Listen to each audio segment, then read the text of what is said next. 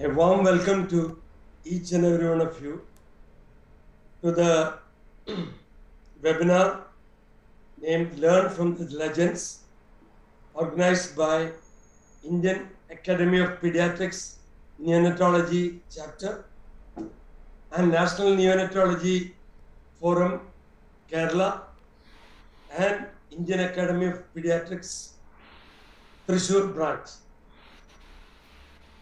Today, I'm delighted to welcome Professor Vivek Narendran, Director, City Hospital, NICU, Perinatal Institute, Cincinnati, Ohio, USA, who will speak to us on ontogeny of preterm skin and its clinical implications. To moderate this session, we have two eminent neonatologists from India. Professor Sourabh Dutta from PGI Chandigarh, India, and Dr. Dhananjay from Jaipur, India. Over to you, Dr. Manoj VC, for further proceedings and introduction of the eminent faculty we have today. Thank you. Thank you, sir. Hello, everyone. Welcome to today's session of Learn from the Legends. We have with us another legend, Dr. Vivek Narendran. He is a professor in clinical pe- pediatrics and neonatology at Cincinnati Children's Hospital Medical Center attached to University of Cincinnati. We all know Cincinnati Children's is one of the largest hospital in US. Uh, it is in fact ranked number four in nation among the honor roll hospitals in US News and World Reports 20, uh, 21-22. And in fact, just now uh, he was telling us it is the second largest in the country. Best children's hospital rating all the time. And he is the director of the show there, director of NICU, following the footsteps of the legend whom we had the fortune to hear before, Professor Alan Jobe. Now, uh, Dr. Vivek Narendran uh, is a board certified pediatrician and neonatologist with extensive clinical and research experience over the last 25 years. He trained for his MD and DNB at India and three year fellowship in Australia and then uh, he trained in United Kingdom for his MRCP all this prior to his residency and fellowship in neonatology at Cincinnati. Professor Narendran also surprisingly has another side of himself. He has a business degree MBA from Xavier University with a focus in health economics.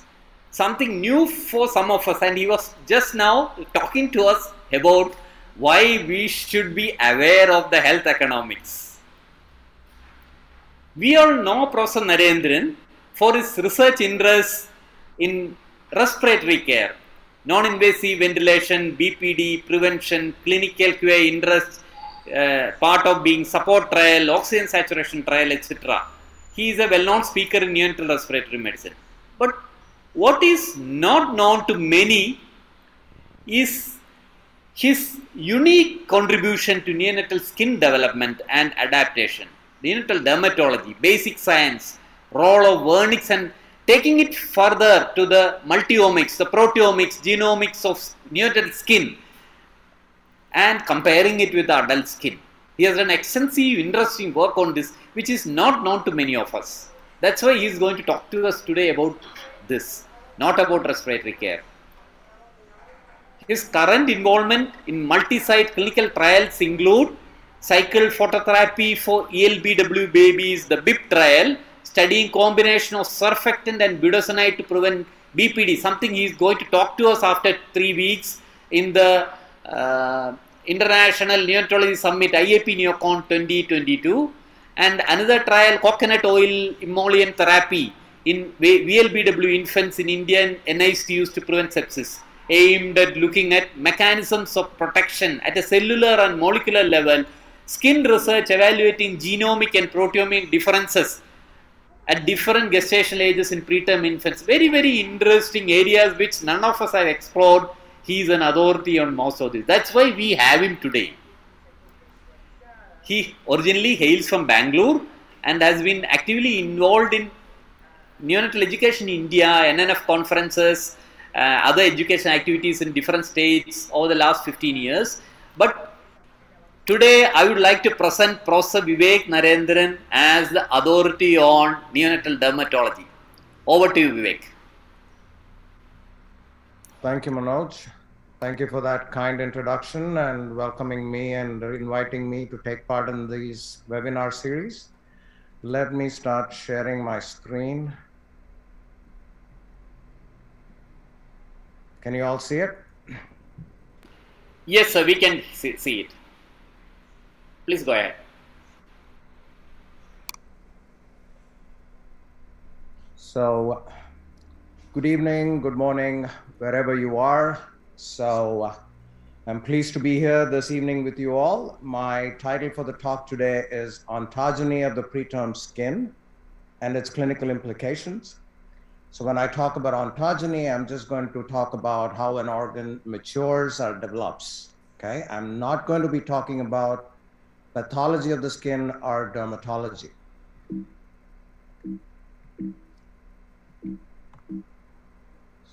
One second. Let me try here. So before I get started, I wanted to arouse your curiosity and I want you to think through these questions. Are there some structures or organs in the neonate which are the size of an adult? Does the number of melanocytes determine the different skin color in different races? Is pH of the babies different from adults and is it important? And do you think phototherapy is safe in extremely low birth weight babies? I want you to mull over these questions and hopefully you'll have answers by the end of the end of my talk. So let me start with a brief introduction to the anatomy of the skin. This is essentially the epidermis primarily, and the area that you interact with every day is the stratum corneum, which is the outermost layer of the epidermis. The epidermis has been segmented into different layers and both you know, anatomically as well as functionally. It starts off from basale, stratum basale to the stratum corneum. And then here below in the dermis, you have the vasculature and all the glands that are important to us. So if you look at the dermis, you have the sebaceous glands, which output their secretion sebum into the hair follicle, and then the sebum is extruded out to the surface along the hair shaft. The sweat gland is interesting. It's an eccrine sweat gland, which has its own pore, which opens on the skin surface. The skin starts developing, meaning the process of keratinization starts around 16 weeks. So I want you to remember second trimester. And then it starts around the hair follicle and then spreads outwards the stratum corneum is only formed around 24 weeks. So even though it's just a layer or two, it's formed around 24 weeks. So if your baby's younger than that, they don't have that. That's why the skin is so translucent and transparent and gelatinous. If you look at the the uh, nerve endings, they're also they are some are in the epidermis and some are in the dermis. And then if you look at this area, the dermal papillae and the rete pegs, rete pegs, they are the ones that help in the cohesion of the epidermis and the dermis.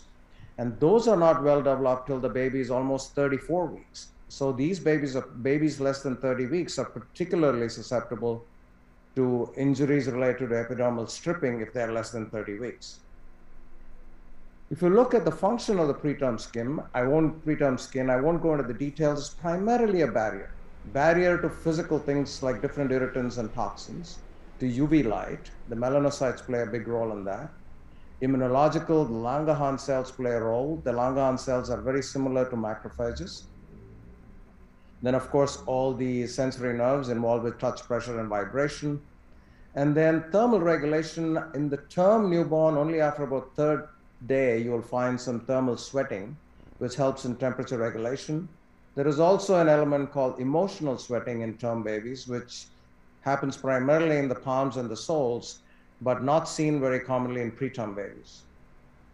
The thermal sweating happens primarily that you see when babies are put under the radiant warmer, you see the sweating on the forehead, the face, the back, and the front. Whereas the emotional sweating, which happens relate, which is related to pain, usually happens in the palms and the soles. And coming to acid mantle development, I'll talk about it later during clinical implications. So the question that interested me the most about how I got into this area of research is if you know if you put your hands in water for five ten minutes, you know how your hand gets the skin gets wrinkled or it's called goose skin. But here you have a fetus who's submerged in water, basically amniotic fluid, for nine months and then comes out with pristine looking skin, right? So he's like in a bathtub peeing and pooping and comes out with good looking skin. And the answer we believe is vernix caseosa. In Latin, vernix means to varnish and caseosa means cheese-like. And this substance coats the fetus and provides a hydrophobic film all around to help the skin develop beneath it. So vernix is primarily an outpouring of the sebaceous gland, which is sebum. So it's essentially sebum with desquamated corneocytes and some stem cells from the hair follicle. So primarily sebum, and then it has some cells which are corneocytes. So if the baby has to produce that much amount of sebum to cover the entire baby, the sebaceous gland is hypertrophic. These are hypertrophic sebaceous glands that we see in term newborns. This is sometimes confused as milia. And sebaceous glands are much, much, much more common than milia. Milia are more like keratogenous cysts that you see, like the Epstein pearls that you see on the hard palate. The milia is sort of less, you know, they're not, they're not, they are cysts, but they are smaller, they are yellower, and they're a little more sparse. So, but these are sebaceous gland, which has hypertrophy. The mechanism that this happens in utero is that both the placenta and the hypothalamus produce corticotropin releasing factor, which acts on the pituitary, and then the pituitary, you know, uh, gives rise to ACTH, and then the ACTH is constantly stimulating the adrenal gland, and the adrenal gland produces a mild androgen known as DHEA, which acts on the sebaceous gland to pump the sebum and sebum to cover the uh, surface of the fetus. To do this, the adrenal glands are all hypertrophied. So at birth, the hypertrophied adrenal glands are the size of an adult gland. And then if you see throughout the gestation, it keeps becoming bigger and bigger. And then at birth, it starts involuting because it doesn't, it, doesn't have that ongoing stimulation. And then it's dormant for a while, then at, pituitary, at puberty, it goes up a little bit and then reaches adult size again. So what is the composition of this vernix? When you touch and feel the vernix, you know, this thick viscous material, you feel it's just like fat. But interestingly, it's 80% water and only 10% is lipids and 10% are fats. So we, we did this to prove this. We do something known as dry weight, wet weight ratios and compared it to other commonly used NICU creams. And you can clearly see vernix is primarily 80% water. If you look at the lipid composition, it's primarily made of cholesterol esters and ceramides. I'll come back to ceramides, this green segment here, because these are all branched chain fatty acids which have a role both not only in the vernix but has a role in the postnatal skin as well. The amino acids, I want to bring your attention to glutamine, which is the most abundant, one of the most abundant in, in vernix. Glutamine is one of the most abundant amino acids in plasma and breast milk. In the adult world, glutamine enriched TPN has found to decrease sepsis in critically ill adults. But we did a similar study in neonates, in the neonatal intensive care in very low birth weight babies, to see if TPN supplementation with glutamine decreased sepsis, but it did not in our population, so we don't routinely use it. So at the time of birth, what happens is, as the lung is maturing in utero, the fetal lung starts producing surfactant. So this surfactant, surfactants are nothing but they are like, you know, what is present in soaps and detergents. They are used to remove dirt. So this surfactant actually removes the vernix from the skin surface, helps it detach like this. And then vernix is free floating in the amniotic fluid, and then it is swallowed by the fetal gut. And this, we believe, is the first nutrient that the baby swallows or is, uh, the GI tract is exposed to prior to postnatal, postnatal feeding. This is a fascinating physiology by itself.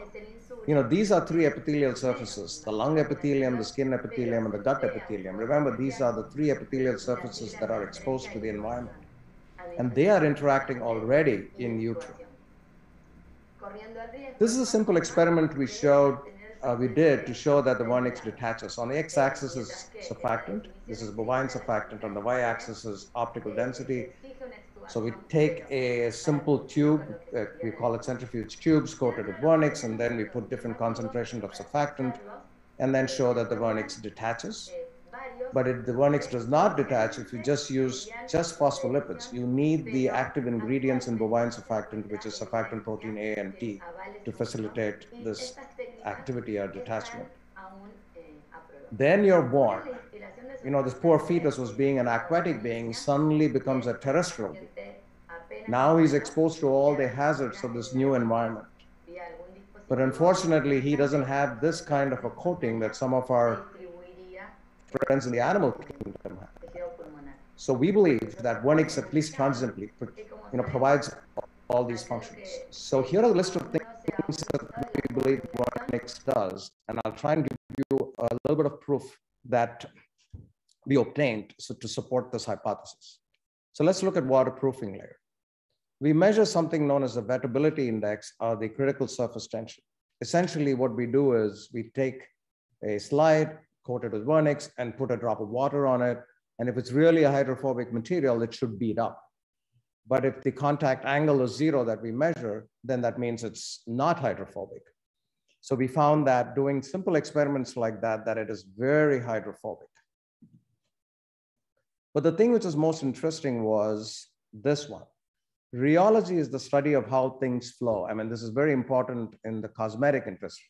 For example, how does the how do the cosmetics flow and are spread on skin surface, our lipstick, uh, or whatever it is. So essentially, what we did is we take, you know, essentially, if you handle vernix, it is so thick and gooey and viscous, right? You know, you, it's hard to understand how it spreads and covers the fetus. So we applied a certain amount of stress and then looked to see how much it moves or what is the shear rate. And at different temperatures, we realized as body temperature, vernix just easily flows and moves. That is the reason, because in utero, the baby, the vernix is body temperature, hence it can flow and cover the fetus. Anti-infective barrier. So does the vernix have any anti-infective molecules, whether related to amino acids or the fatty acids? So we looked to see if the babies had collectins or other anti-infective peptides. Collectins are essentially surfactant protein A and D, which are antibacterial and antiviral. And then we also wanted to look to see if it had lysozyme, lactoferrin, and other defensins, et cetera, which are all antimicrobial peptides. In this example here, we show you a foreskin. You know, circumcision, circumcisions are very common in this country. So we take foreskin, and then we look at the sebaceous gland and use specific antibodies uh, to SPD, which is the collectin, and then immunolocalize it to the sebaceous gland to show that it's there in the sebum. Similarly, in vernix, we use antibodies to show that it has lysozyme, lactoferrin, and cytokeratin. And it, it, seems to be found in such pools or aggregates. We think these, we call them ready release granules in times of stress or an insult like chorioamnionitis, it's there to be released. So we wanted to also make sure that it's just not there, but it's also functional. So we take bacteria and put it, in, you know, grow it in culture media and then expose it to a fixed amount of vernix and showed that it's very effective in its bactericidal effect against a group B streptococcus, Klebsiella, and Listeria. So we also looked at some pro and anti-inflammatory cytokines. You know all this. So we had, we showed that the vernix also has a whole bunch of cytokines. I'm not sure the significance of its presence, but we believe that it may be related to a systemic inflammatory response that happens when a baby is exposed to chorioamnionitis. Now coming to the vernix fatty acids, it has a very potent anti-inflammatory role. These were all done in in vitro experiments or in animal models. For example, in a rat model, they showed if the feeds are enriched with branch chain fatty acids, then it can decrease NEC in these rat models. Then if you take a human intestinal epithelial explant, you know, in vitro, if it's pre-treated with vernix and then expose it to a toxin like endotoxin, but the amount of inflammation you see is totally less. It has very suppressed pro-inflammatory activity like IL-8 and NF-kappa B. So essentially these branch chain fatty acids seems to have a very protective anti-inflammatory role. What about antioxidant? Remember the fetus is growing in a relatively hypoxic environment. The PaO2 of a fetus is somewhere between 25 to 30 millimeters of mercury.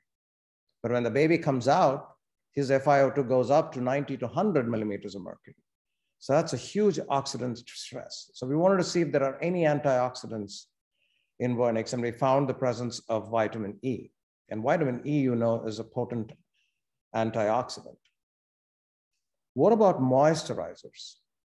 Remember the fetus was in a wet, warm, and a humid environment in utero. Suddenly it comes out to this new world, which is dry, and uh, it's cold. So the baby needs something to keep the skin moist uh, and well hydrated. So we found that the vernix has something known as natural moisturizing factors. Filaggrin is a protein which essentially binds, a structural protein which binds together corneocytes. So this undergoes proteolysis when exposed to a low humidity environment and releases these uh, these uh, factors known as natural moisturizing factors.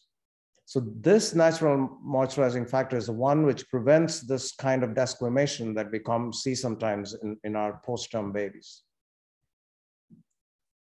So we, we did a simple experiment on adult forearms and we basically, we have equipment which can we can use to measure some biophysical measurements. We applied Vernix and other commonly used creams in the NICU like petrolatum is nothing but Vaseline, Aquaphor you all know. And then we showed that the vernix treated forearm had increased hydration, baseline hydration, as well as water holding capabilities, again, suggesting that it is a moisturizer. So we did a, we took a group of, similarly, we took a group of newborns who had vernix retained, whereas, and compared it to a group of term babies who were given a bath, bath soon after birth and showed again using the same kind of biophysical measurements that the skin was more hydrated, this dark blue, I mean, light blue was much more hydrated when the vernix was on, the skin was less erythematous and had lower skin pH. What about a cleanser? Because these newborns are not meant to be born in a fancy uh, delivery suite. They were meant to be born out in the woods. So we did a very simple experiment. We took the uh, old photocopying machines, the carbon soot from that, and we put it on the hands of adults and then tried to clean it with one swipe. We compared all the other common cleansers that we use in the NICU and found that the Vernix, that's the first panel, seems to clean better than a Johnson & Johnson shampoo or you know the baby wash that we use or the Pond's cold cream or Aquaphor. So we think it is because of this unique lipid composition of the vernix, but helps in emulsifying and cleaning this, goes inside and cleans this deep skin furrows that you can wipe off the dirt. What about wound healing agent? So we are one of the centers where we do fetal surgeries. For example, we do a meningomyelocele repair at 24 weeks. We do the surgery and put the fetus back into the uterus in the amniotic fluid. And when the babies are born at term, we noticed that this babies had a beautiful scar, a well-healed scar. There was no dehiscence.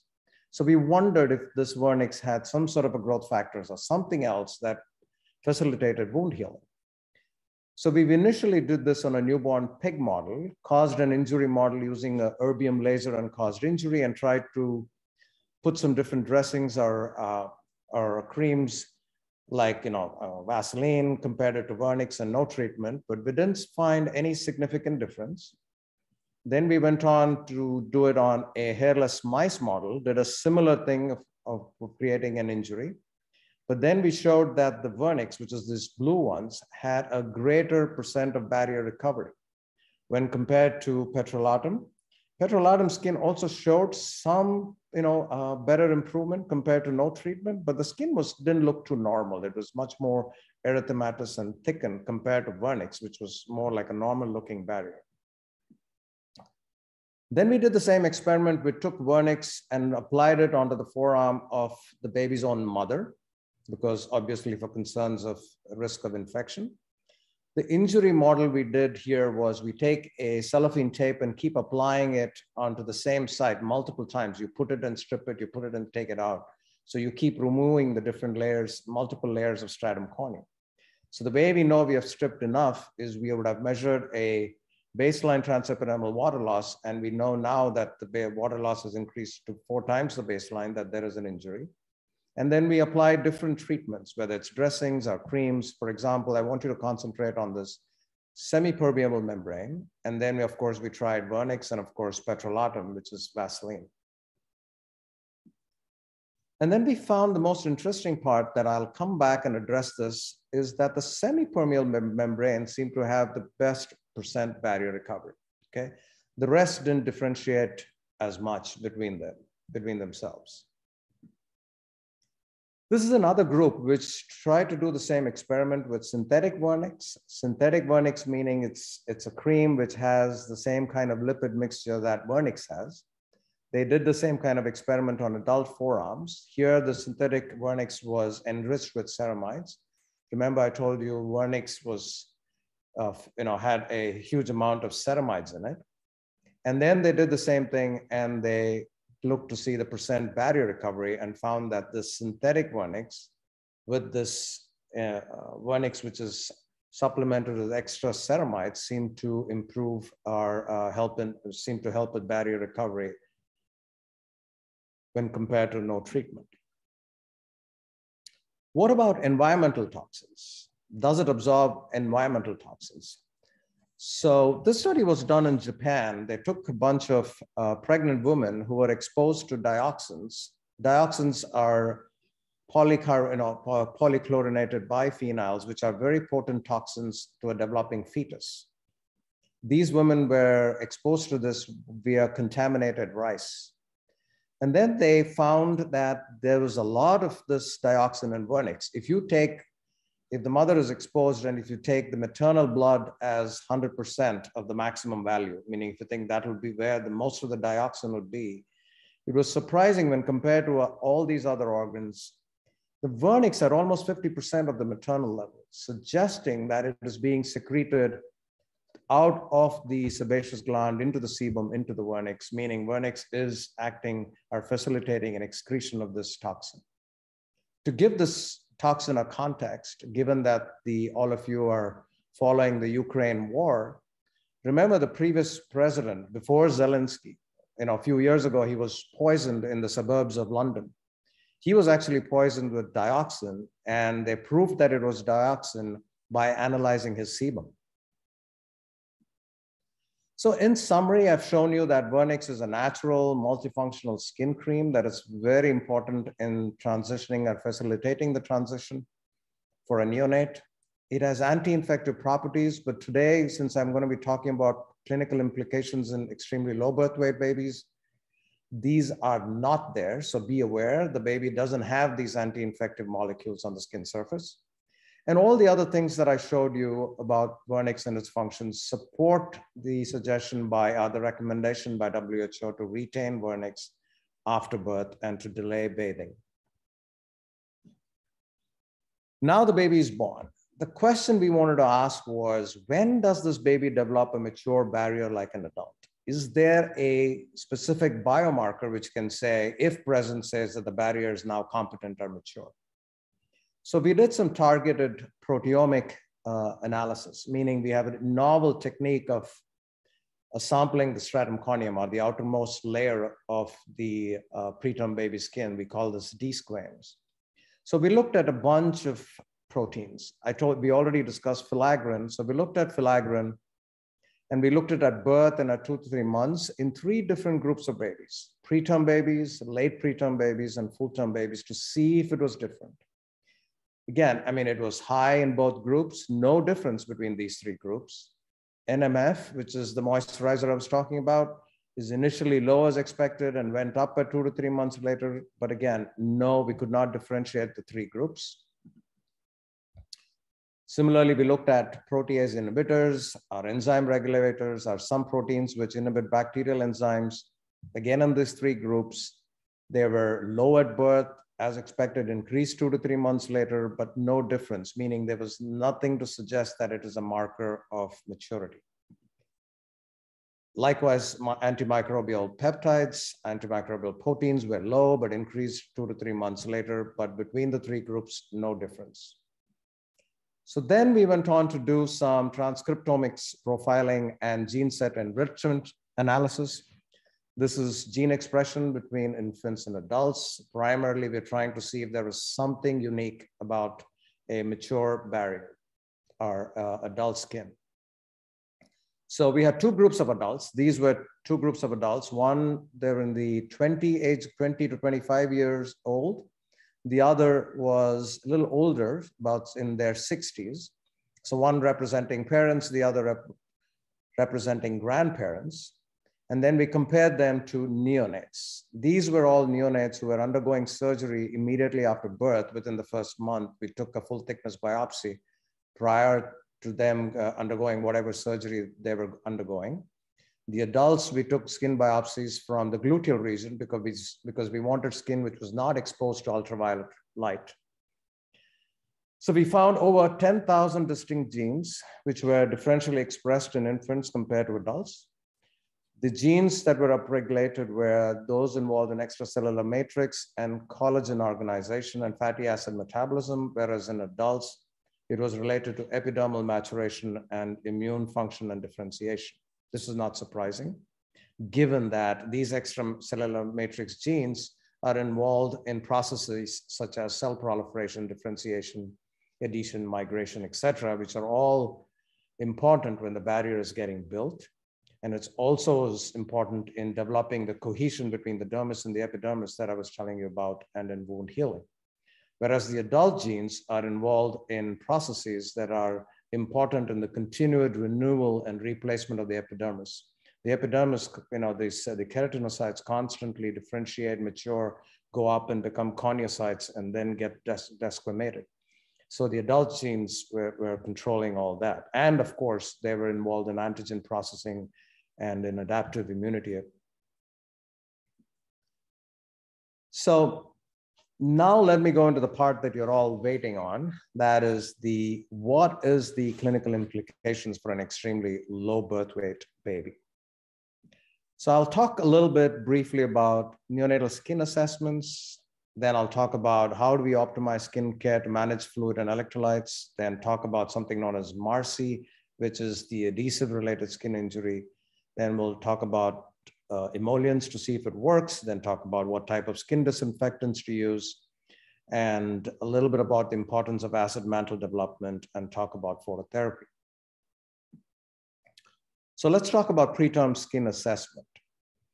We have to assess the skin. Sometimes we don't assess the skin because we're so interested in the other organ system. We are sometimes more interested, not sometimes, most often interested in the ventilator settings rather than looking at the preterm skin unless you assess the skin, you won't know when the barrier has been damaged or if there is a treatment that you've applied to the skin, if it is working. So there are many validated scoring systems available. The most commonly one is known as the neonatal skin condition score, which was uh, you know, promoted by a nursing association in the US known as AWHONN. I think the Indian Academy of Pediatrics and NNF has also adopted that score we use something known as, which I call the Visscher score. Essentially, all these are validated scoring system. They pick a region in the body. Here we are looking at a perianal region. Then we looked at the extent of involvement. Is it less than 2% of that region, 2 to 10, or 10 to 50, greater than 50? We look at erythema, the severity of the erythema. Then we look at the rash and the severity level of the rash and come up with a score. And we have these kinds of numerical scores essentially based on extent of involvement and severity. And then in our hospital, we have incorporated this skin assessment within our electronic medical records. We use Epic. The system is known as Epic. And so the nurses, all they have to do is to go and click, click, click, see, go to a region and see if they see a, a problem. They go and click these things very easily. They know, you know, there's a selection form like that that you can see. And then the computer does everything else. The computer calculates and records the chart. So every eight hours when they do cares, I have a score on the skin. So when the nurses tell me the erythema score is 1.5, I know that the perianal region was probably looking like this. And when they score the erythema score was four, I know the perianal region was looking like this with bleeding and there's erosions in the skin. So it's very helpful. And how do we use it? We look at this data and here on the x-axis is days of life and then on the y is erythema score. You know, the younger the preterm, usually there's no rash. I'm still talking about the perianal age perianal area. Remember, the younger they are, they don't school, stool for much longer time. Then you see the onset of sometimes a rash. Then somebody applies some sort of a barrier cream. Then we know if it's increasing or decreasing. So this helps you, all this kind of assessment helps you in early identification as well as to know if your treatment is effective. So I strongly encourage all of you to use some form of skin assessment. Now, what do we do to manage fluid and electrolyte balance? There are two things. Remember, I'm talking about extremely low birth weight babies here, right? You have two fluid losses, one from the skin because there is very high transepidermal water loss. And then number two, you have these immature kidneys, which are not able to concentrate urine. The tubules don't have the concentrating ability. So using, so you're losing a lot of fluid through the skin and a lot of fluid through the kidney. So if you want just to go back to anatomy, in an extremely preterm baby, you may have at least one or two layers of the stratum corneum. And that's why your skin looks so thin, gelatinous, and transparent, facilitating transepidermal water loss. So if you look at, and if you plot the transepidermal water loss on the y-axis and the gestation on the x-axis, you'll see the younger the gestation, the higher the transepidermal loss. You're all aware of this fact. And if you see, this is just a cartoon illustrating the same. This is an extremely low birth weight baby. This blue dots are all the water molecules escaping. This is transepidermal water loss through a non-lamellar lipid compared to a term infant who's got much more organized uh, lipids as well as much less water vapor so are the uh, water molecules. Remember that the more younger in gestation you are, your body has a lot more extracellular fluid and this extracellular fluid is also coming out. So now let's look at transepidermal water loss. The uh, shaded bars here are for a baby roughly 22 to 23 weeks. I've taken an extreme example. And on the y-axis is grams per square meter per hour of water loss it's very high on day one or two. And then the interesting thing is by one week, it drops down by 50%. The same thing happens, the dotted line is for a little bigger baby, 24 to 25 weeks. It starts off high, then drops by a week. So what this is suggesting is that the skin matures like every other organ in the neonate, like the lung, the kidney, that the postnatal maturation is pretty fast and efficient. So it it dramatically decreases by the end of one week. So now when you're dealing with this extreme preterm baby, and you know, especially the peri-viable infants, we have two strategies to deal with the, the to deal with to decrease the transepidermal water loss or to deal with uh, this loss both from the kidney and the skin. Either we use a humidified incubator, and humidify it almost up to 70, 80%, or we put the baby under the radiant warmer. So when I say a radiant warmer, most institutions which use a radiant warmer also put something on top of the baby, a sort of a plastic shield, a saran wrap, or something to decrease convective heat loss. So under that, you know, the saran wrap, you still have about 40, 50% humidity. And how does that affect fluid and electrolyte? So these are calculated values pretty close to what happens in real life if you take a 23 weeker. So on day one to three, you have transepidermal water losses almost up to 200 ml per kilo per day. Okay, that is huge. On top of that, you add additional fluid losses from your kidney. And for those of you practicing neonatologists, starting a baby with 250 to 300 ml per kilo per day is not uncommon, right? But it's a lot of fluid. But if you use the closed incubators, meaning with humidified incubators, the fluid loss is much, much less, right? Almost less than half on day one to three. And then over the, the first week, it decreases, but still significantly less over a radiant warmer, which is the shaded squares up here. So I want you to remember this. This is in, as we use in clinical practice, ml per kilo per day, the fluid loss that happens. So we wanted to see what different institutions who have good outcomes in taking care of these extreme preterm babies do in terms of fluid requirements. Iowa is a center which has the best outcomes in the US. Japan, of course, have had good outcomes for the last two to three decades, and then Sweden in Europe. So if you look at Iowa, they use a radiant warmer as a skincare strategy to manage fluid and electrolytes. And they end up using almost 350 ml per kilo per day.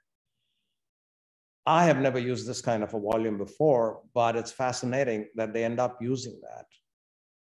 And I had a quick discussion with the moderators today about the value of a, uh, a functional echo by the bedside. They constantly do functional echo to monitor their fluid status.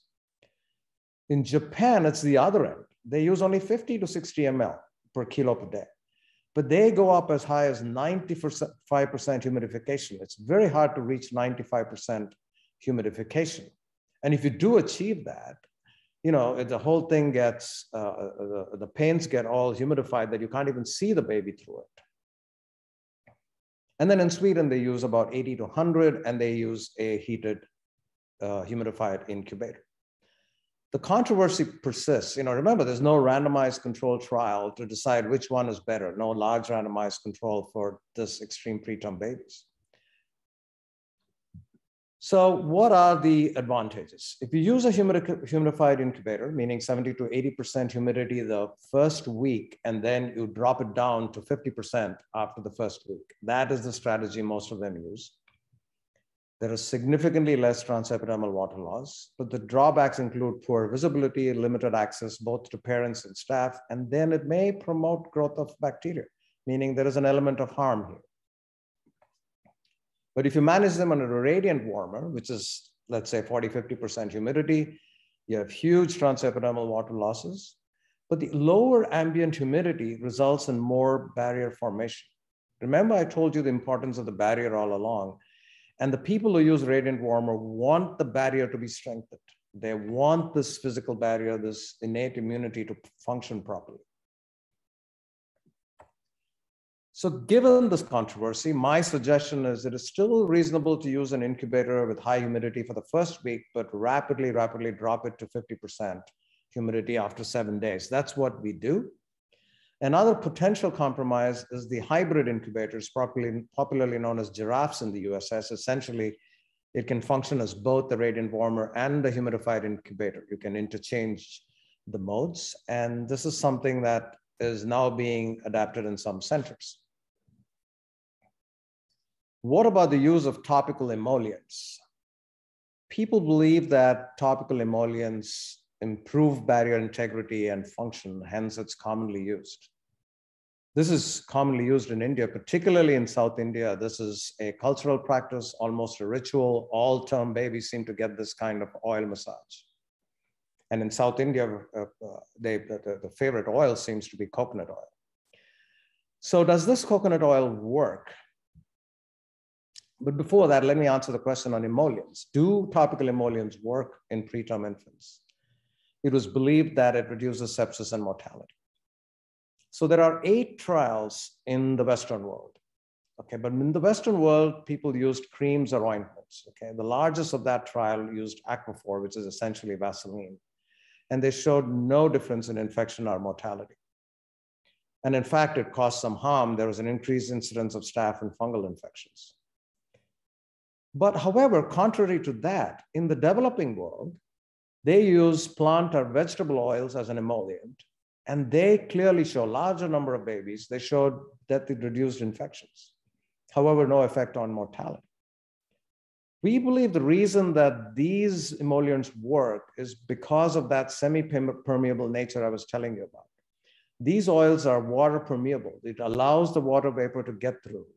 And number two, these oils may inherently, the fatty acids in these oils may inherently have some antibacterial activity. Particularly the coconut oil has been shown, the fatty acids in coconut oil have been shown to have antibactericidal activity. So if you look at all the coconut oil trials in preterm infants, majority of them are done in India. And the largest trial done this year, recently published, has almost 2,200 babies, uh, or 2,300 babies. All the rest were relatively small. This, and most of these trials have babies greater than 30 or 32 weeks in their trials. They use, some of them, the early trials used this along with massage, but later on, no. The intervention could have lasted from just uh, five days to a month. And this one, the one in Australia, involves smaller preterm babies that I'm referring to and was done in the NICU, whereas most of the other trials are done in a community setting. So remember, community versus NICU, slightly bigger babies versus smaller babies. But if you put them all together and do a meta-analysis, it clearly showed that there was overall lower incidence of hospital-acquired infections. It decreased the transepidermal water loss. There was better growth in terms of both, you know, uh, weight gain, better skin condition, meaning visually it looked better. And the last two trials, you know, the one from India and the one from Australia seem to suggest that they have better neurodevelopmental outcomes. I think we need much larger trials to convincingly prove this. At the present time, uh, like Manoj said in the introduction, we are doing a trial in Bangalore. We are trying to look to see not only if it reduces infection, coconut oil in small babies, but also to see mechanistically at the cellular molecular level. What is it that makes the coconut oil work or anti-infective? Let's move on to look at the medical adhesive injury, which is known as MARSI.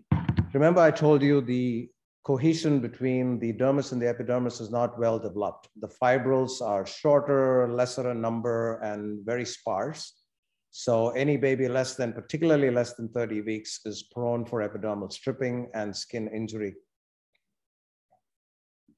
So we've all seen this kind of injury in the preterm infants. If you look, when we try to secure PICC lines to umbilical vessels, again here are even peripheral IVs.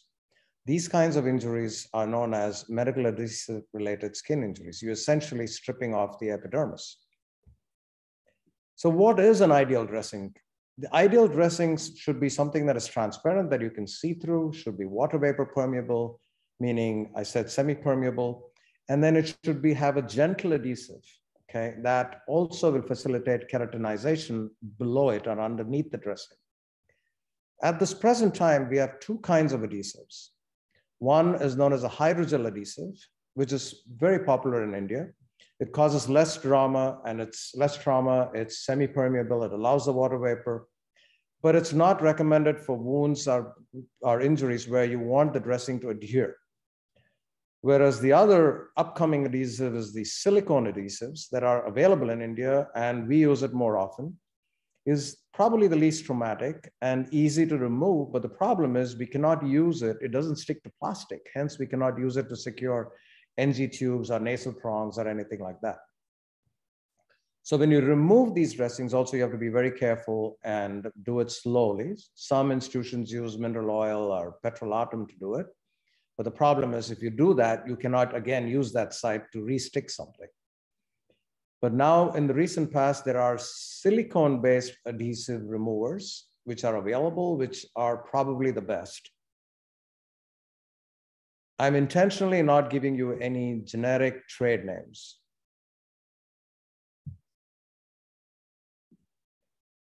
What about skin disinfectants? Do these skin infectants get absorbed and cause harm or can it cause just a chemical burn? So we've all seen this happen. This are if you use the wrong disinfectant during uh, uh, the cleaning procedure prior to umbilical vascular catheterization, you see these kinds of burns. So as of today, we have three choices. One is chlorhexidine, which is probably the best in terms of the spectrum of antibacterial activity and the longer duration of action. It comes in two forms, an aqueous solution as well as it could be in an alcohol base. We are now suggesting you use chlorhexidine in an aqueous base. Then you have povidone iodine, also known as betadine. But the problem with this is that it can get absorbed and suppress the thyroid. Then lastly is the isopropyl alcohol, and which in India you refer to as spirit, which is 100%. So it's much more potent than the 70%. So whatever you use, you have to be careful, be aware of its potential side effects. We recommend using CHG only in infants greater than 28 weeks because there is some concern still that it can get absorbed through the skin. And we use povidone iodine and alcohol for infants less than 28 weeks. If you want to clean it, try and use sterile water. Don't use betadine first and then clean it with spirit. Try and use something which is less potent. Now coming to acid mantle development. Is this important or why is this important? This is a device here up here showing you a simple device that we use. Uh, it's a probe, we just put it on the skin surface and it tells me the skin pH. The skin pH is very critical part of the innate immune system of the neonate. It's just like the gastric pH in you and me right? And it also facilitates or stimulates enzymes, which are important in processing the stratum corneum lipids. So it's very important. If you don't have an acid pH, on the contrary, if you have an alkaline pH, you can have desquamation of the skin. So what is the normal pH? If you look in an adult skin, the pH of an adult skin is always acidic. It's between 5 and 5.5. The term and preterm infants at birth are alkaline. They're usually greater than six because they're exposed to the alkaline amniotic fluid. In term infants, the pH drops to less than five by three days. It's pretty efficient. But in preterms, it may take much longer time. So it depends on the gestational age. The younger they are, it takes the longer time. To so most often to decrease to 5.5, it may take a week or longer. So why is this important? Because of what we do to these babies in the NICU. We use different bathing products. Most of the cleansers or shampoos or soaps that we use have an alkaline pH, which, which will remove the skin lipids and the natural moisturizing factors and damage the preterm skin. If I ask you, if any of the neonatologists in the audience, do you know what the pH of your cleanser or detergent is in your nursery, you will not be aware of that you want to go back and check that. And we recommend you use a mildly acidic cleanser, which is between four to six. And cleansers also should you make sure they are free of fragrances, alcohol, and some sensitizing ingredients. But more recently, you have some formulations that contain are enriched with ceramides, which they call physiological lipids because of this. Remember, I told you the Vernix had some lipids, about 20% of its lipid composition and the postnatal stratum corneum has even more, it goes up to 50%. So now the cleansers are enriched with some ceramides. So ideally you need a pH with mildly acidic pH as well as plus minus have some ceramides.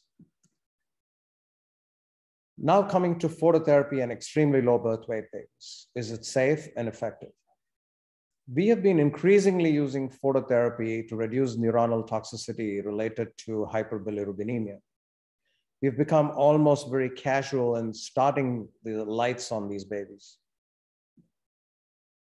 There are presumed ways that phototherapy can damage uh, even full-term neonates.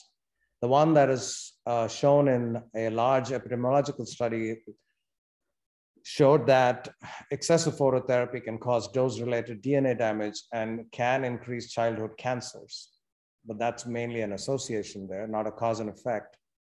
But these are possible ways that phototherapy can cause injury. And particularly in our preterm babies who have the thinnest and the most translucent skin, all these mechanisms are exaggerated.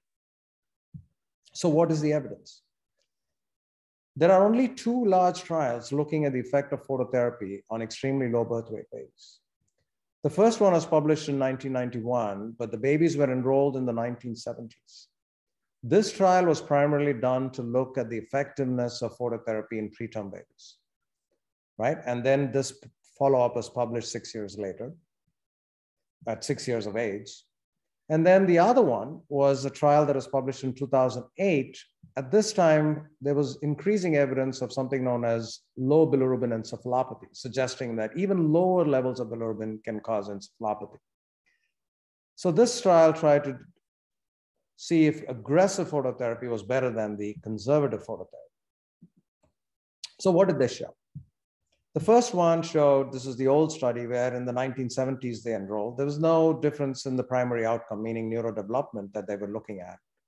But if you look at the relative risk of death, there was a 30% higher risk of death for low birth weight of babies and almost a 50% higher risk of death for extremely low birth weight babies. And on the second study, the more recent one, it did seem to improve neurodevelopmental impairment with aggressive phototherapy, but this was offset with an increase in mortality among infants 500 to 750 grams at birth. So you have two important signals here, only two trials done, and both of them suggest that there's increased mortality. So remember, as physicians, our core clinical dictum first, do no harm. And second, if possible, use the lowest effective treatment dose to reduce risks of known and unknown hazards. So I'm trying to introduce this concept of cycled phototherapy. Essentially, you don't give continuous phototherapy, you only expose the baby for a brief period of time and then cycle it. There's new evidence just published, the references below here, suggesting that this is efficacious in removing the bilirubin, but at the same time decreasing overall exposure to light. So at the moment, we are doing a large randomized controlled trial studying exactly this in babies less than 750 grams, and I'm the PI for, for our center. So hopefully I'll have some results for you in the next couple of years. So just to give you an idea of how our hypothesis uh, the uh, intervention would work, let's say at 24 hours, your bilirubin is between 5 to 7.9 here in the intervention arm, we cycle it, we give it for 15 minutes per hour, and the rest of the 45 minutes, it's not under lights, whereas these babies have the conventional continuous 60 minutes of phototherapy.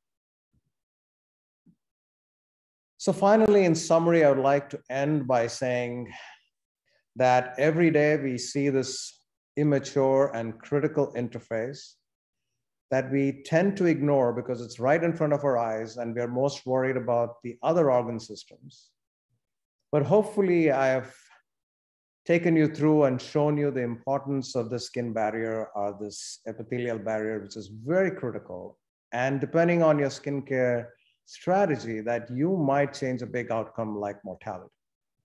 So thank you, and I'll take questions. And I'd like to offer a special thanks to my colleague, Dr. Marty Visscher, a collaborator, a mentor, and a friend without whom all this would not have happened. Thank you. Thank you, sir. It was an excellent journey. I am grateful that we have kept this topic in our series. There are a lot of because this is one area where people, uh, I mean, actually hesitate to talk, and say, I mean, this was one of the best sessions I would say. Now, without wasting any time, I have the honor to invite two of the uh, great neonatologists of India, Professor Sourabh Dutta is known to all of us. The mm, uh, uh, is from PGI uh, Institute, the prestigious institute from Chandigarh, and uh, Dr. Dhananjay, another uh, clinician and a neonatologist from uh, Jaipur. So over to you, both of you. Thank you, thank you, Dr. Manoj, and thank you for this opportunity to moderate this session. Firstly, I must compliment Professor Narendran for an absolutely brilliant and fascinating talk. I mean, I've never heard a talk on neonatal, you know, skin physiology in preterm infants, which has been as captivating as the one you've just uh, delivered. And I'm not exaggerating. Uh, I'm thank you for uh, drawing everybody's attention to this much neglected organ. This is actually the largest organ in terms of surface area, uh, maybe from apart from the inside of the of the lungs, the alveolar surface. Uh, and because for some reason it's not as glamorous as the heart and the lung and the brain, it uh, seems to escape our attention. I'm, I'm, really thankful to you for having drawn our collective attention to it. Uh, before we take on the sessions from the Q&A box, uh, I would like all the participants to kindly post their questions on the Q&A box and not on the chat box. And the organizers have been repeatedly saying that. Uh, I would like to ask a few questions uh, just to set the ball uh, rolling. Um, one of the, you did mention that there were attempts to make a synthetic uh, Vernix caseosa. Uh, firstly, how far has that attempt uh, been successful? And secondly, um, I was looking at the composition of the vernix, which you had shown. It seems to be extremely complex, you know, just like how the surfactant is a very complex uh, mixture of uh, lipids and proteins. So is it possible to harness the vernix from other mammals, like how we have done with surfactant? You know, we, we harness surfactant from cows and uh, pigs and other mammals. Is it possible to harness natural vernix from other mammals and use it? Because, uh, you know, creating a synthetic vernix may be technologically a very challenging process. Is there any move in this direction? Uh, that's the first of my, you know, two or three questions. I mean, that's an excellent question.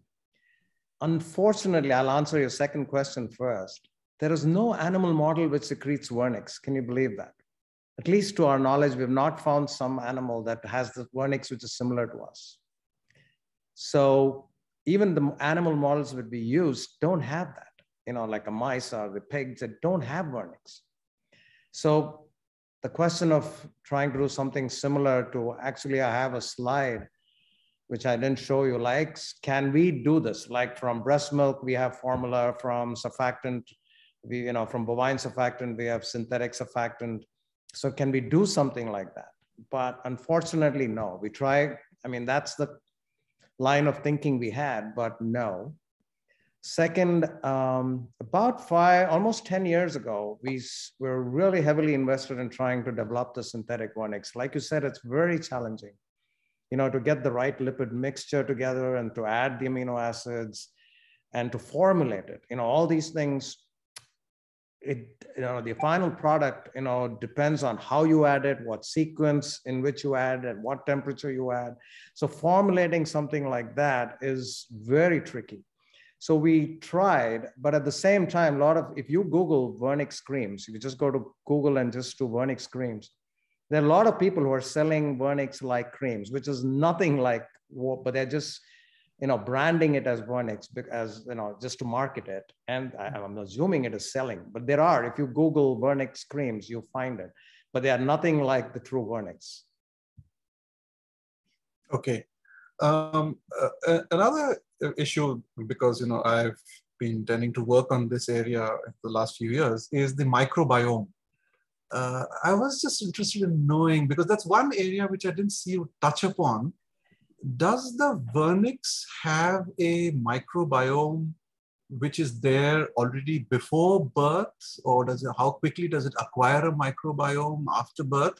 Because recent uh, uh, you know evidence tells us that you know maybe even the fetal gut which we used to believe was sterile is not sterile. It, it acquires a microbiome before birth. So does the skin also acquire a microbiome and what role does it play if at all it's there uh, at the time of birth as you know protective role and these genes that you mentioned you know which uh, the 10000 genes that expressed are all of them human genes and are some of them actually microbial genes that are that we are picking up in these uh, metagenomic uh, studies? Great, great questions again, Sourabh. So the first question about microbiome. So I actually meant to say something about the role of vernix in microbiome postnatally. Okay, uh, it's a harder question in utero the microbiome by all these the the vernix by altering the skin pH, you know, and you know it alters the skin pH, makes it the uh, helps in providing the acid mantle. So that primarily influences the type of microorganisms that grow on the skin surface. So it's very important if you take a group of babies who have vernix removed and vernix retained and then look to see the microbiome, it's going to be different. So yes, it plays a role a little bit postnatally. In utero, like, you know, we always thought it was a sterile amniotic fluid, uh, the womb was sterile. You know, it's, we thought it was like the CSF or, you know, like the ventricles. But no longer, like you said, we've now seen in a totally uncomplicated, we can isolate bacteria in a term infant, you know, you know from the placenta or from the gut. So it's no longer believed, but we have not, you know, uh, to do what you're trying to suggest, we have, you know, you know that amniotic fluid is contaminated. To, to isolate and selectively take the vernix from the baby, which is a liquid. You know, it's like, you know, it's at body temperature, I told you it's like an oil, it's flowing all over. It's kind of hard. But we never thought of that when we were doing these studies earlier on, but something to think about. I think it's a fascinating question to ask. And maybe when you have your next fetal surgery, being done for the meningomyelocele. Yep. Take a swab. no, but the problem uh, is to differentiate what's on in the amniotic fluid versus what we introduced, and it's yeah. a little challenging but doable, I guess.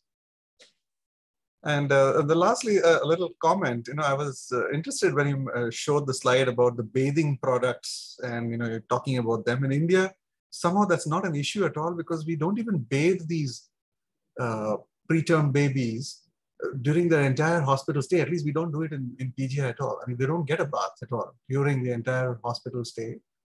And uh, a lot of parents wouldn't bathe them till they're about two kilos uh, of weight. So, I mean, the question of using a bathing product and its pH, etc., uh, is a bit of a non-issue here. But it is interesting that uh, you know it's a it is an issue at all there we in, in the US environment. So you don't even uh, give them a sponge bath? I mean, maybe just the uh, you know perineal region and uh, thing. Otherwise, we, we don't bathe these babies. Wow, I'd like to hear what other scent. I mean, see, this is how we ignore the skin. I've been to so many NICUs in India. I've never asked them this question. So uh, you know, the, so, I think it'll be fascinating to see how the whether they do a sponge bath with sterile water, or warm water, you know, you want to remove the soil. At the same time, if the baby is colonized with you know, path- pathological bacteria, presumably, then they think we made this, you know, the, the, most people use potent cleansers because they think they're removing that. I don't believe in that, but I'm saying that's why it crept, it, crept in into the nurseries.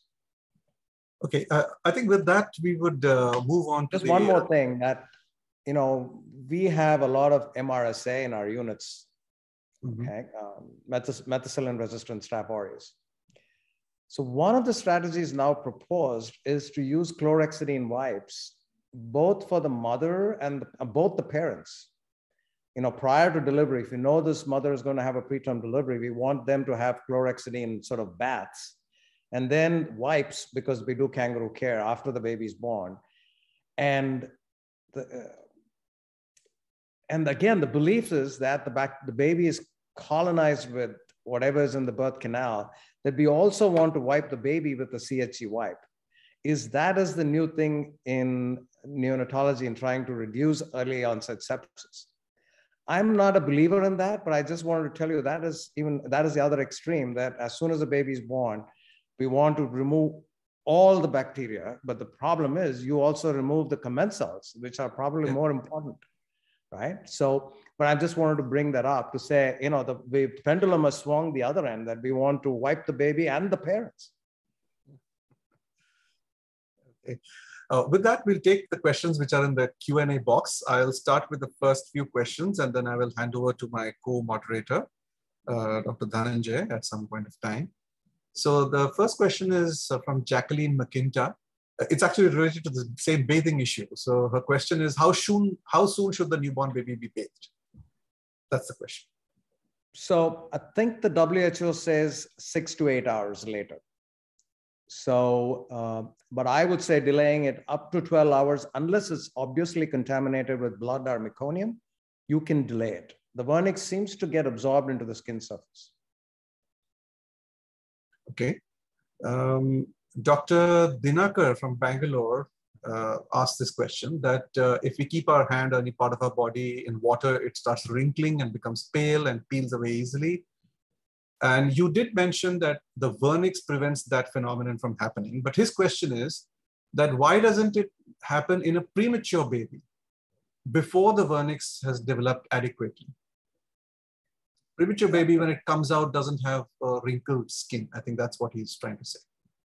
Correct. I mean, there is, in, in other words, there are the wrinklings because of the out, the epidermis, the outermost layer. Okay, that's the the stratum corneum absor- absorbing the water, but that's not even there, so you don't see it. There must be something to wrinkle. So the whole epidermis is like a thin, even in you and me, is like 100 microns. It's like a sheet of paper.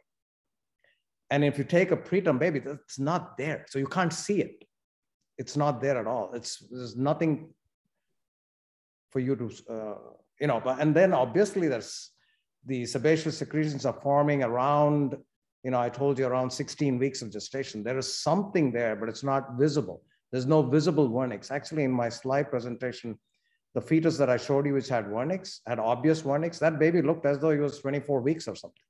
Mm-hmm. So obviously there is something, but not obviously visible. So uh, the next question is from Aditi Day. Um, she says that the preterm skin is at risk for skin injury with a lot of medical uh, things being stuck onto the skin. So what products are available that deliver both skin protection like vernix and skin repair? I'm not sure whether she's asking for whether, you know, what commercial products or brand names or whatever, but what you know, and what generic products are available that would protect the skin similar to Vernix and would help to repair the skin? At the moment, there is nothing, nothing currently available, but I think the trend is to have a dressing or a cream which is enriched with ceramides. So if you can look at any product within India which says enriched with truly, really ceramides, not, not just a marketing gimmick, then I would probably use that and um, the brand names or trade names here are entirely different from what you're used to in India. So I would not even, you know, uh, try and pick some for you. Okay. Uh, her next question is, uh, what are your thoughts on advancing skin kerat keratinization in the periviable infant by limiting humidification and giving as much fluids as needed to compensate for the insensible losses? Yeah, that is a valid, uh, you know, um, thought, and a lot of units do that.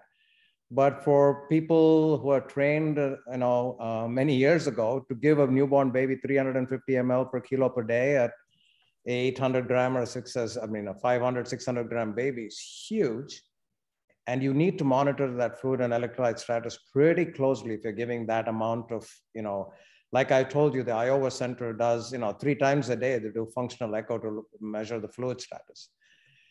It is probably the right thing to do if you have all the, uh, you know, uh, uh, right equipment and the facilities to do all this. You know, if you have the talented people who can do echo at the bedside, you know, measure your fluid and electrolytes at least twice a day, and you can pull that off. And it clearly, low humidity has been shown to help in uh, barrier maturation. And uh, that center uses it all the time. And uh, we are still using the humidified incubator. So, so what, what is the biology behind that? I mean, how is it that uh, lowering the humidity helps with the barrier maturation? I'm actually not fully sure. We are not clearly sure why it does it. I'm not sure how what what mechanisms it provokes. We haven't looked at that. I mean, is, is it a stress related thing that uh, like it how is, the surfactant production kicks in when uh, because it of postnatal stress, stress, something like that? But what, you know, we don't know mechanistically what is it that stimulates the lipids to suddenly start, you know, being overexpressed. Mm. You know, uh, the low humidity. You know, the low humidity happens in full-term babies as well, right? So, you know, yeah. I told you from a wet environment, the baby comes into this dry, low humidity, and the barriers starts maturing pretty quickly postnatally. It does happen, but I don't know mechanistically how it happens.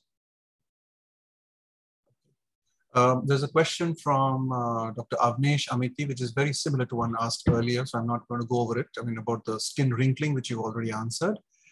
Dr. Srijana asks, how is MARSI best treated? That's the question. I was, I was hoping. I mean, if there's a patient who has MARSI in your unit, how would you go about treating?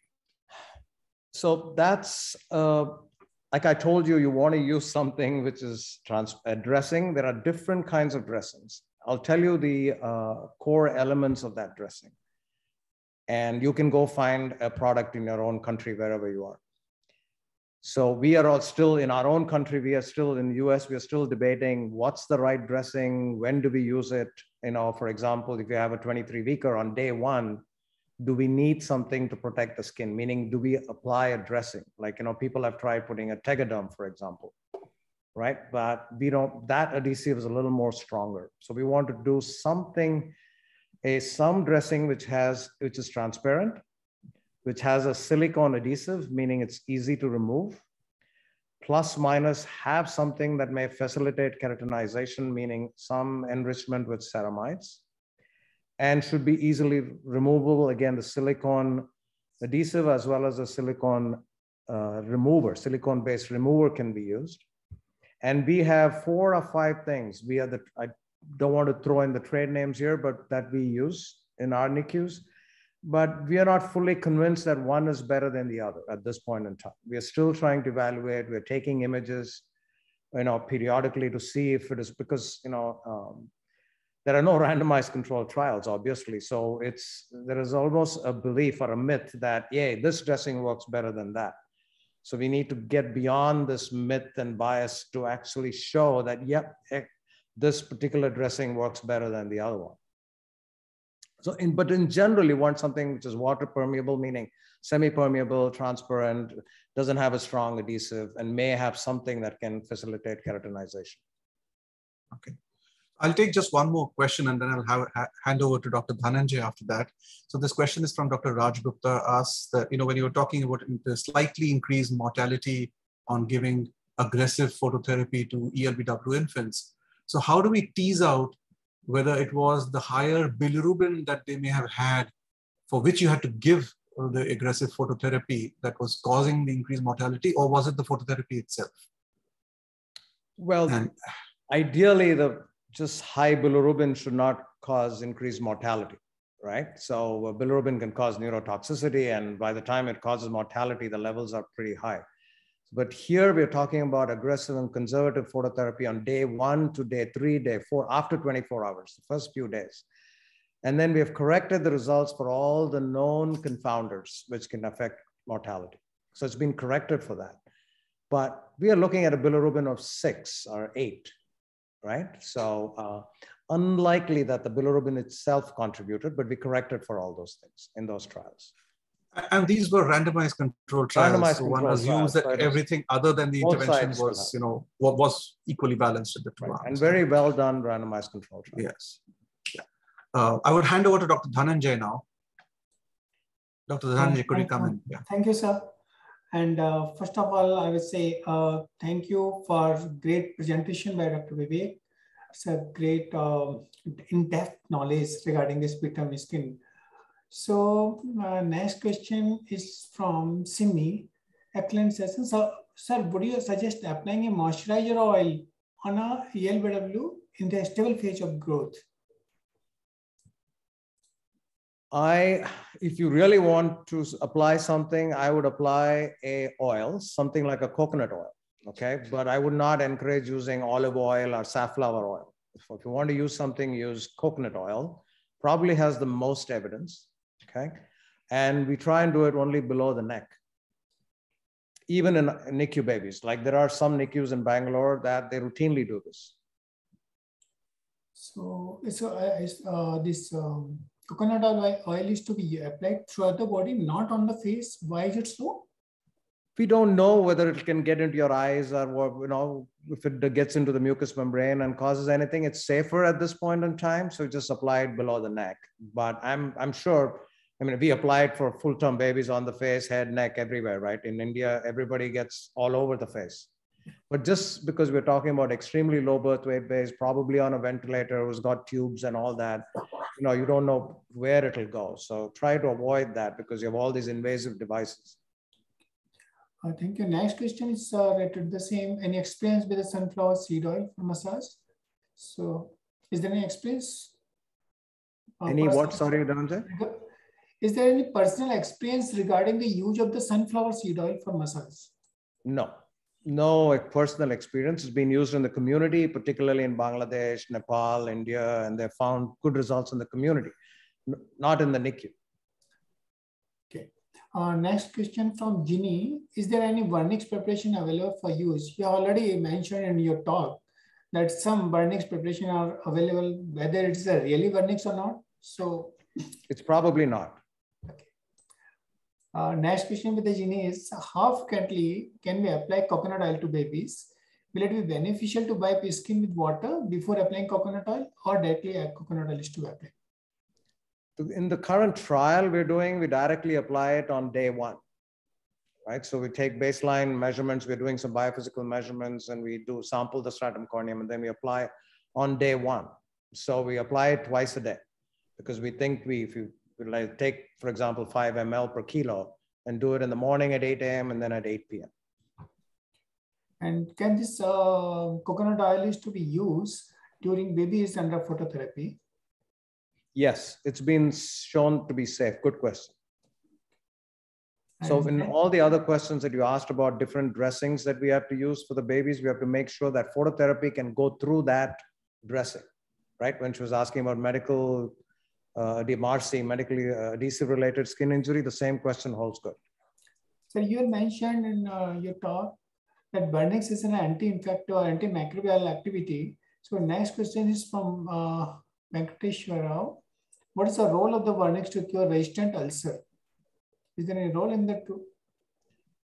People have not used it for ulcers, but there are people have used it for episiotomy wounds. So, you know, if you ask your old midwives or old nurses and, you know, who practiced many years ago, they used to take the baby's vernix and put it on the episiotomy wound, believing that it will heal. And it has antimicrobial effects, like using an antibiotic cream. So, but there's no, you know, people have not studied it, but these are all, you know, things that have been tried. So, uh, is another related question is this uh, whether we can keep vernix in uh, situ for next 24 hours instead of bypass immediately after the birth?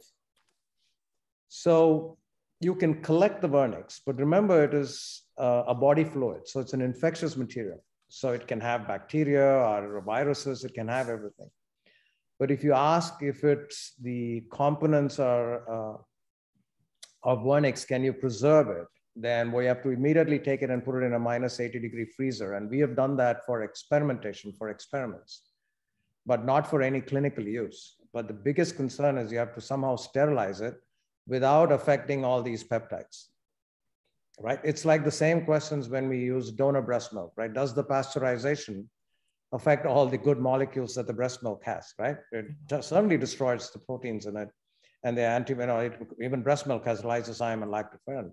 I don't think donor breast milk has that. Similarly, I can't take this and then try to sterilize it and expect it to function like native vernix. One question is from Anisha. You said to start prophylactic phototherapy in your little babies, but phototherapy can even cause mortality. So what should be protocol to be followed in ELBW babies? At the outset, please continue doing whatever you do, the, conser- the continuous conservative phototherapy. Okay, we, I just wanted to, you know, give you some insights into what is, you know, the future. And I don't want you to change your practice. Continuous phototherapy is the way to go now. There is no role of prophylactic phototherapy, meaning your bilirubin has to come to the skin surface. You know, unless the baby has is looking yellow, there's no point putting the baby under phototherapy, right? So there's the concept of phototherapy, uh, prophylactic phototherapy, certainly not in extremely low birth weight babies. Even in term babies, we discourage that. Okay. But if you are, if the baby is jaundiced, yeah, go ahead and do it.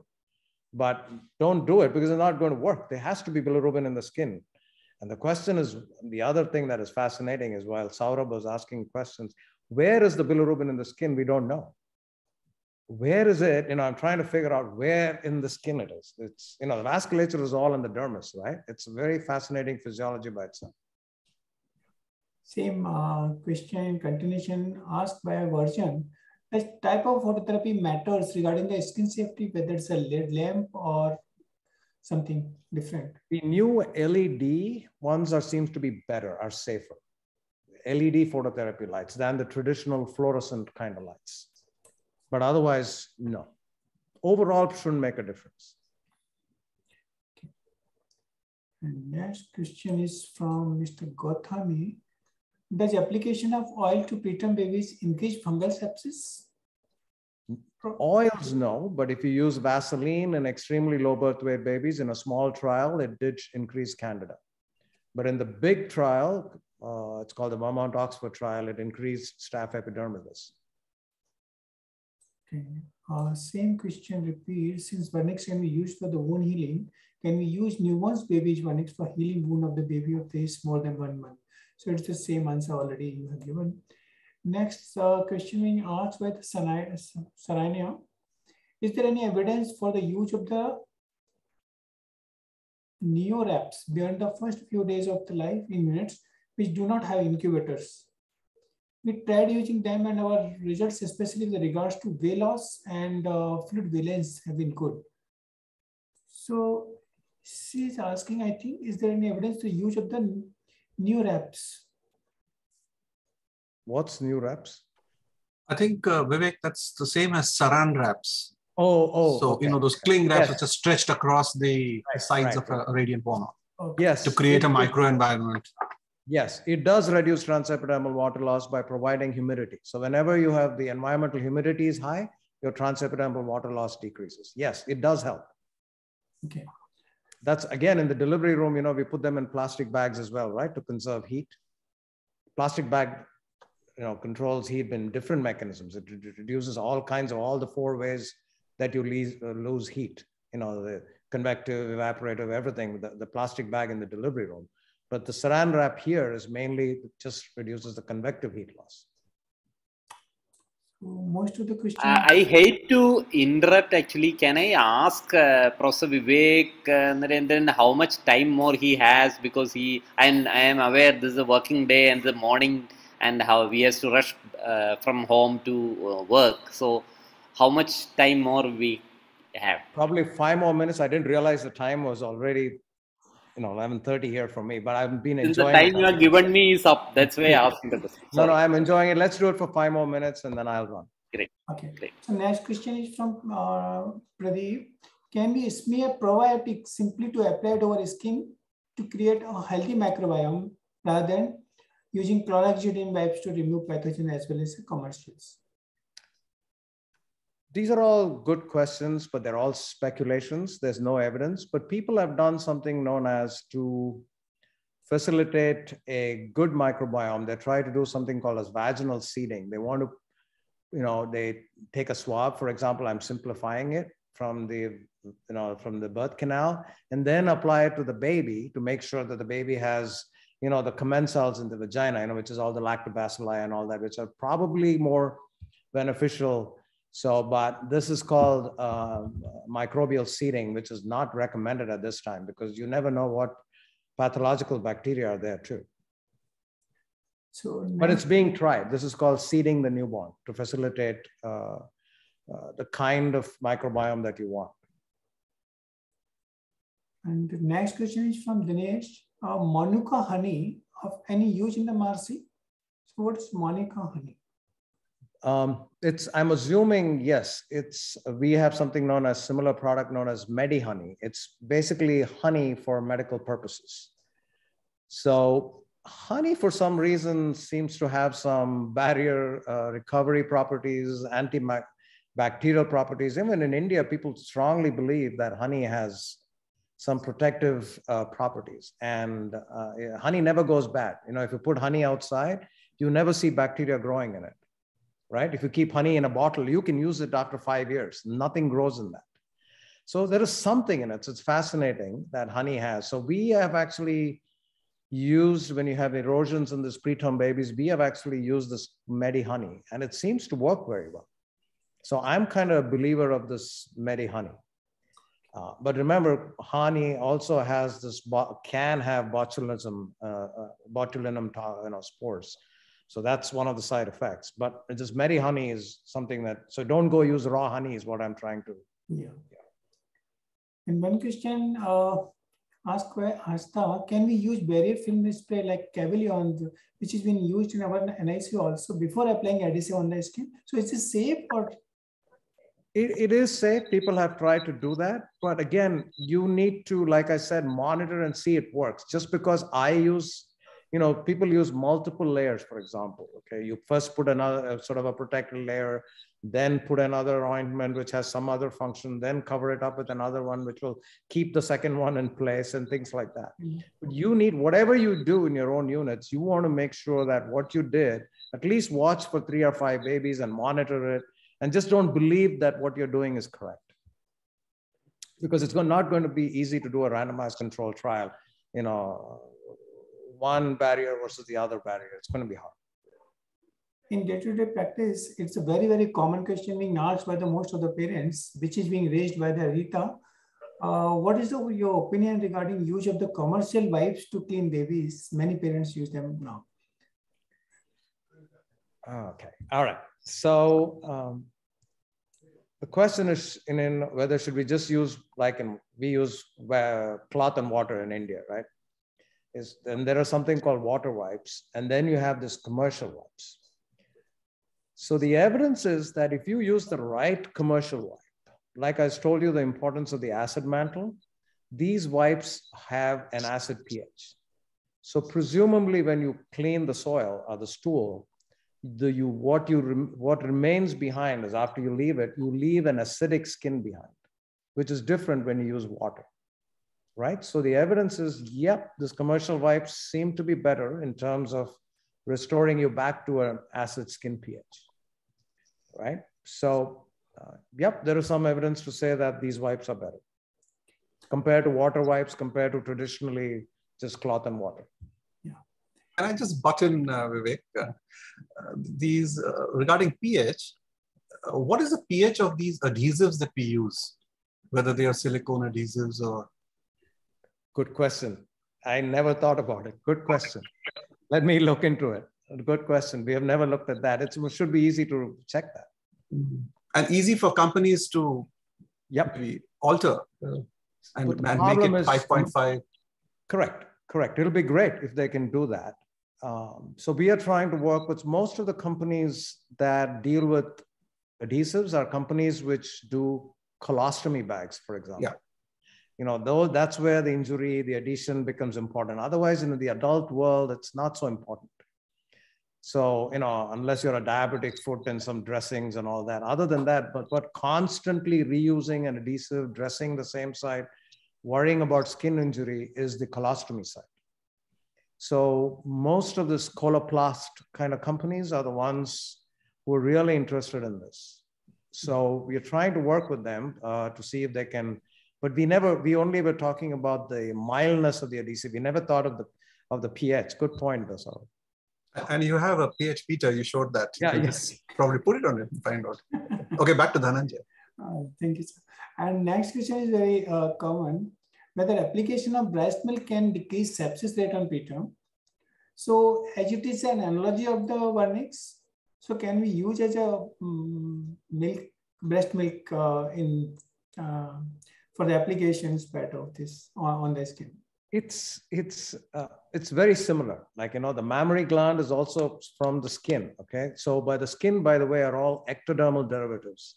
So it's like the mammary gland, the central and peripheral nervous system, the skin are all ectodermal derivatives, okay? So the mammary gland is like any other sort of eccrine gland, like it's like a sweat gland or sebaceous gland. So it's very, very similar analogy, the mammary gland and the sebaceous gland. That's where vernix is, right? Sebum. So it's very, very similar. They have pretty similar uh, properties, very similar properties. But, you know, I mean, breast milk is now used for everything to mouth care to reduce uh, ventilator associated pneumonias. They're trying to use it to reduce uh, conjunctivitis. I mean, uh, they're trying to use it to reduce NEC, right? We use breast milk for everything. So kind of similar, but it's not easy to get vernix. Thank you. Uh, next question is raised by Ginny. At zinc oxide containing creams applied for perinatal diaper rash. What is the better for adhesive induced skin injury? Zinc oxide or antibiotic uh, ointment?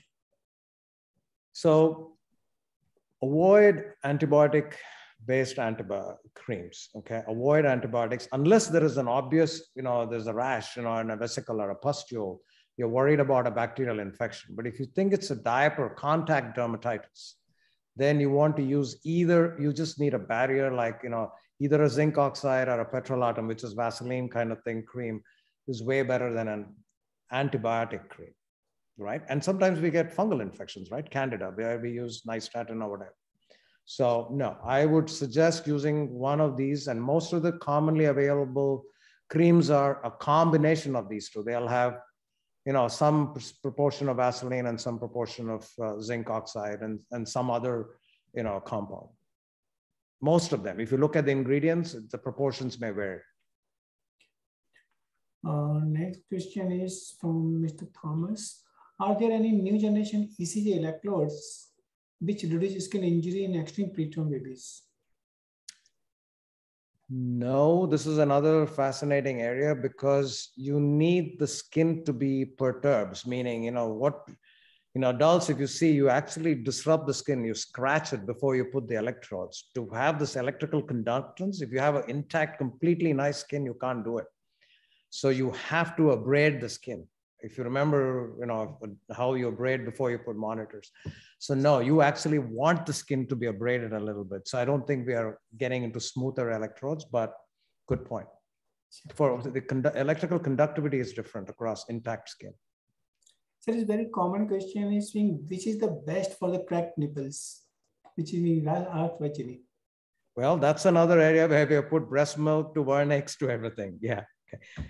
Uh, so lano, which again, some form of lanolin petrolatum is a some simple thing that commonly used, but there are so many products in the market. If you just Google cracked nipples, you'll get a bunch of products. But interesting is both Vernix and breast milk have been used. And one question is, what is the treatment of the calcium extravasation in skin injury? It's been asked by Ashok. So what is the treatment for the calcium? The best treatment is avoid infusing calcium in the first few days of life. Okay, best. There is no specific treatment, but sometimes we inject hyaluronidase. We inject hyaluronidase around the extravasation site. Okay, but if it's an inotrope like epinephrine or something, then we have phentolamine that we do. Uh, but more often it's hyaluronidase only if it's a bad extra calcium extravasation. But the best thing is these babies don't need it in the first three, four days. Don't give it. And last question is, what is your take on nursing ELBW in food grade partic uh, plastic bags to prevent ELBW and to prevent trans uh, uh, water loss? Say that again about food grade plastic bags. So what is your take on nursing ELBW in food grade part, uh, plastic bags to prevent ELBW, uh, to prevent uh, heat loss, epidermal water loss? Yeah, it's been popularly used in the delivery room. I don't know about this food grade, what it means in your setup, but uh, I, am presuming it is clean and you know bacteria free. So, hmm. uh, so it, it is very good. It's, we use it all the time. We use some kind of uh, plastic wrap as soon as the babies are born in the delivery room all the time. Okay. So this is all about. I think uh, your uh, your uh, talk and uh, answers we get from uh, your knowledge and wisdom. So really very uh, astonished to learn from so many things, which is really, it's a in-depth knowledge and experience shown with your talk. So thank you, Dhananjay. Thank, thank you. Very, thank you very much for your great talk. Thank you, Dhananjay. Thank you, Sourabh and Manoj. Uh, thank you, Vivek. Uh, once thank again, you. fascinating thank talk. Thank you. Thank you so much, uh, Dhananjay and Professor Sourabh for uh, uh, having moderated this session well. As uh, is remarked by everyone, this is one of the best talks we had thanks to uh, the in-depth knowledge into which uh, uh, Professor Vivek Narendran had gone into and describing things and it was so interesting that, I mean, we are overshooting time and it is, thank you so much, sir, for uh, joining us despite your busy schedule. We hope to again see you after three weeks in our uh, national conference. So thank you so much. And at the, before we close, before we